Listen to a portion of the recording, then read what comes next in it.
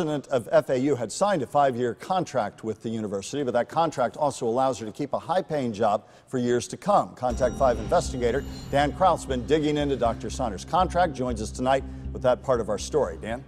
Michael, her contract here is 19 pages long, but there's one clause inside that allows Dr. Saunders to continue earning a big salary and benefits, even though she's stepping down from the university's top position. As president of the university, the contract states Saunders received a base salary of $345,000 a year, plus up to another $50,000 a year in bonuses, a university vehicle, and travel expenses. The fine print inside of the contract shows since Saunders was not fired, she is allowed to continue on as a tenured faculty member. The contract even shows us how much she'll be making now, about 80% of what she was earning as president.